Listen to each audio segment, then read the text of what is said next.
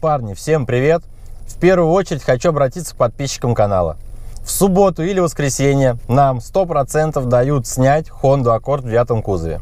Информацию сегодня об этом опубликовал в инстаграме канала, поэтому подписывайтесь на него, чтобы не пропускать следующий анонс.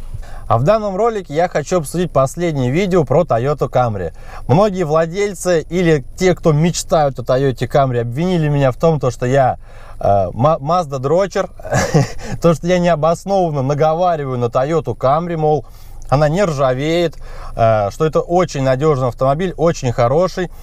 Хочу пояснить одно, что в данном ролике я говорил только про минусы. Я не подбирал специально плюсов. У этой машины есть свои плюсы, но Исходя из того, то, что вы прям обвиняли меня в том, что я наврал, то, что я не показал рыжики, сейчас я вам это все буду демонстрировать. Сегодня утром я позвонил своему товарищу, у которого есть точно такая же Toyota Camry с пробегом в 20 тысяч километров. Доехал до него, и вот что я увидел на этой машине. Ну вот, смотрите, абсолютно другая камрюха. Это новая машина, я вам сейчас специально покажу пробег, что на ней 20 тысяч. Вот, смотрите, капот. Вот я специально снимаю на камеру. Вот они, сколы пошли, да? Вот скол, вот скол, скол. Пока что не ржавеет, скажете вы. Хорошо, все нормально. Ну вот сколы прям отчетливо видно, да, что они появляются. Это ничего страшного, ржавчины же нету, да? А вот здесь что такое? Вот сюда вот смотрим. Вот он. И вот этот, вот этот вот начинает уже просто сам рыжеть. Машина 2016 года, двухлитровая. Пробег у нее 22 тысячи километров. Продолжаем машину смотреть. Пожалуйста, крыло у машины. Вот эти вот рыжики, это что называется? Это легендарное качество называется. Вот. Вот это вот. Ну смотри, где битон? Вот смотри, вот он. Не, это черное. А вот рыжего. Ототрется он у тебя? Что-то не оттирается. То есть, вот трем, трем, то есть владелец вот стоит рядом специально, вот машина, не-не-не, это как бы, говорит, не ржавчина, но трет пальцем сам лично, что-то у него не получается. На самом деле я к нему подъехал просто спонтанно, говорю, давай пересечемся, посмотрим. Вот, смотрим по машине, вот здесь, ну это еще ладно, тут как бы тут вопросов нету, тут скольчики, но опять же, вот, смотрите, да, я тру, Дальше, смотрите. Человек купил машину, говорит, этого не было. Вот это все пошло. Качество сборки, скажете вы, да? То, что русская сборка наша. Все орут. Диски, диски не облазят. Вот он диск. 22 тысячи. Приближаем, смотрим. Вот это вот черный, это уже слезло. Вот она. Сначала облазить начинает вот по такому принципу. Ага. И вот она пошла. Вот у него пошло потихонечку. Вот сейчас с владельцем стоим, я ему просто говорю, а что диски облазить он? А это битум. Потерли, потерли, и он понял то, что нихера это не битум, он сейчас сам стоит в шоке. Новая машина. Вот у него кожа. 22 тысячи. Вся та же самая история.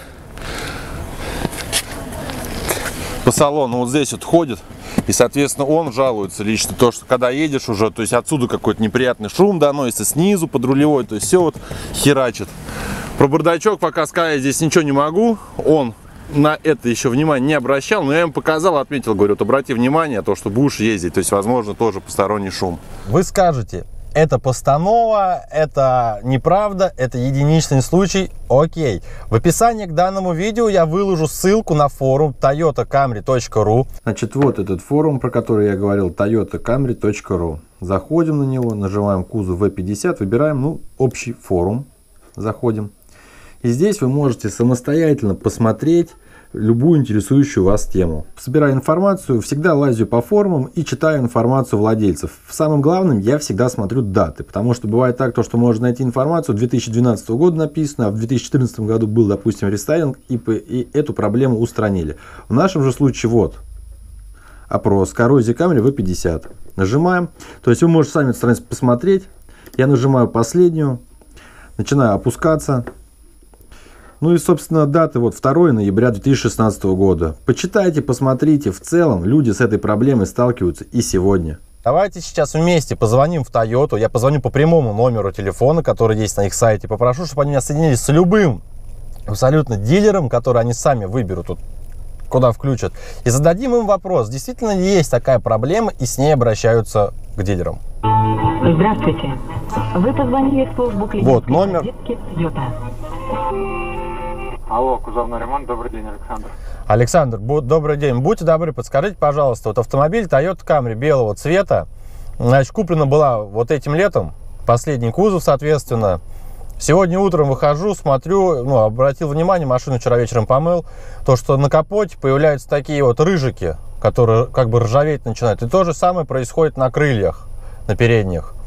Не подскажете, это как вообще? Ну, нормально, бывает такое, потому что почитал на форумах и увидел то, что я не один такой, то, что у людей эта проблема есть. Ну, смотрите, э, вот на новой камере еще ничего не ржавело. То есть э, попробуйте, ну, так, немножко ногтем, скорее всего, налет просто с дороги в лаке остается, там, ну, с дороги летит там частички металла от шипов, там что-нибудь. То есть, э, ну... Ну вот я попробовал, я ее начал тереть, соответственно, прям вот на крыльях, например, прям точечки маленькие, прям видно рыжик. Я сначала тоже подумал, что что-то не то, начал тереть, тереть, а он не уходит. Более того, на капоте Потому что, тоже. ну, В лаке это нужно полировать, то есть, э, ну, то есть, как бы, вы, если хотите, можете подъехать, мы вам посмотрим, но я думаю, что это вот то, что, о чем я говорю, потому что на белом цвете это все, это просто лучше видно, потому что это белый цвет, на черном этого не видно. Вот, то есть остаются, потому что нужно дополировать вот эти вот места. Ты втираешь мне какую-то дичь. Вот, а потому что, что ржавчина, вот, был на Доре Сталинговой, вот, без вот этого молдинга, капоты, вот, они прямо изнутри шли. Но на новую такое еще не было таких случаев, что То есть на дорестайлинговой версии это какой кузов, подскажите? Ну, такой же, только до 14 года машина. До 2014 года машина, вот у них Вот, молдинг, вот, который вот там такой молдинг, хромированный. такой молдинг там с, резин, с резинкой, да, вот это вот. На, пере- ну, на капоте хромированный вот этот молдинг, который снимается, и Да. там под ним ржавчина Да. шла. То есть был такой, не, да? не, Нет, прямо около, прямо около него было, оно прямо изнутри шло, и видно, что прям под, из- из-под краски. Из- А, из-под краски. Даже, ну, то есть там не Ну. было ржавчины, просто такие пузыречки, которые изнутри идет. Мгм, мгм. И Вот. что-то говорят еще на если- задней двери, да, на крышке багажника то же самое было. На задней двери не было, на крышке багажника было тоже. Ну, на крышке багажника, я вот про это если, говорю, да. если вы посмотрите, вы не только, на, мне кажется, на белом цвете, не, не только на крыле, вы можете там в дверях тоже найти. Ну и на дверях нашел, на пассажирской двери тоже точки такие Да, ржавчины да. пошли. Ну, вот, э, ну да, это просто на белом цвете все спрашивают про это, но это не ржавчина. Это вот А что это? Налет с дороги. Все, что летит, да, то есть попробуйте заполировать это где-нибудь. А японскую сборку можно приобрести сегодня? По-моему, у нас только российские все. В России уже 6 так лет. Сколько лет? Только российские.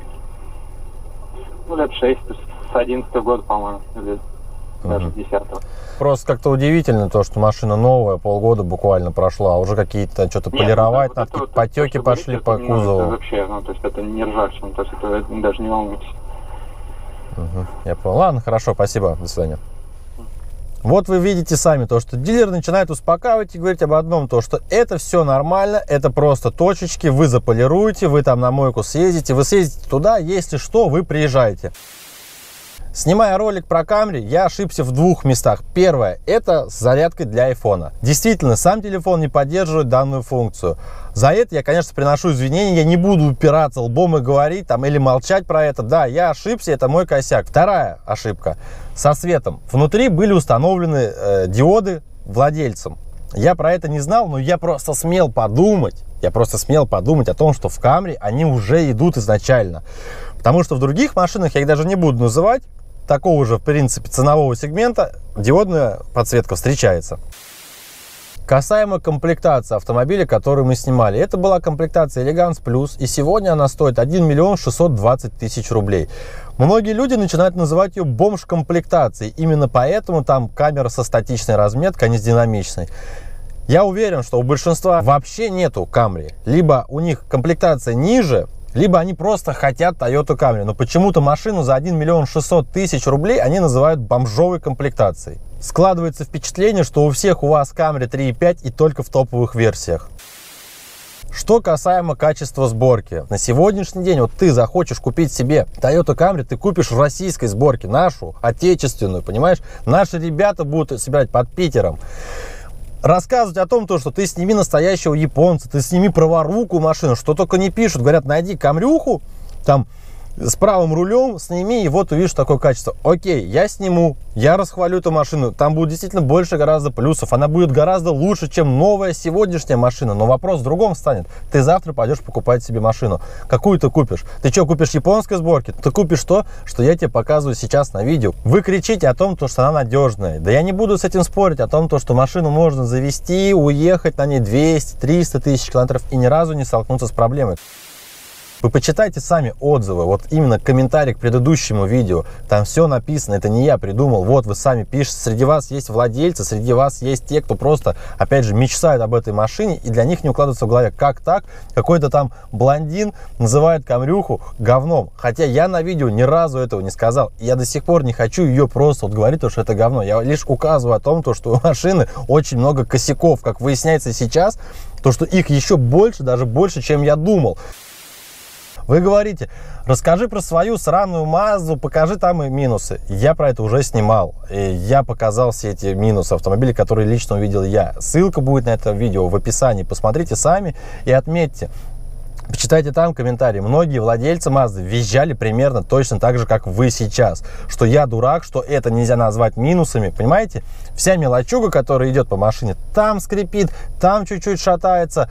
Вот это вот все там, там, там, там, там на ходовые качества никак не влияет. Но вот кому надо из-за каких-то рыжиков ехать в Москву, например, или ехать просто к официальному дилеру и спрашивать, что это такое. Дилер скажет, да это нормально, оставь так. Зачем вы вообще защищаете производителя, когда на самом деле нам, как потребителям, как потенциальным клиентам данных марок, намного выгодней натыкать им по полной программе, чтобы они за все косяки взялись. Касаемо вот этого нашел к чему придраться, я бы вас прекрасно понял, если бы я взял бы какую-то кнопочку, одну единственную, и начал бы рассказывать о том, то, что шрифт на этой кнопочке не очень читаемый, то, что его можно было сделать побольше. Вот это, по мне, действительно придраться просто, влезть куда-то непонятно куда. Конечно, многие написали о том, то, что ты выйди и хлопни своим капотом. Значит, вот, капот, да? Вот с такого расстояния, да я даже повыше подниму. Слушайте, вот он микрофон, да? Поехали. Слушай звук. Это что такое? Значит, вышел, сел в машину, позвонил человеку, у которого я брал машину на съемку первый раз. Говорю, ты сейчас на работе, я хотел подъехать, там кое-что доснять, рыжиков там и так далее. Он говорит, я ее вчера продал за 1 миллион 380 тысяч.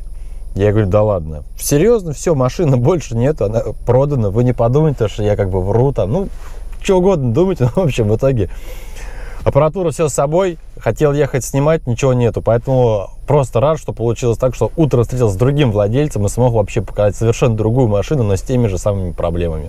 На этом хочу подводить итоги. С Toyota Camry я ставлю точку, больше про нее ничего снимать не буду.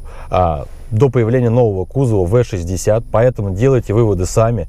Вы когда собираетесь купить машину, вы же ищете обзоры, вы же ищете информацию. Как правило, вы часто натыкаетесь на те обзоры, где класс, все классно, одни плюсы, одни плюсы, плюсы, плюсы. За минусами там какую-нибудь ерунду одну-две назовут и все. Понимаете, это получается какая-то лотерея. Один проехал 300 тысяч, проблем нету, другие проезжают гораздо меньше сроки, начинается там поломка, там косячок, там по мелочи, но тем не менее на эти мелочи приходится отвлекаться, ездить к официальному дилеру, устранять их. Это вы тратите время и нервы. Ну а на этом у меня все. Подписывайтесь на канал, ставьте лайки, ставьте дизлайки, пишите комментарии, то есть все, что душе угодно, делайте. Всем пока-пока.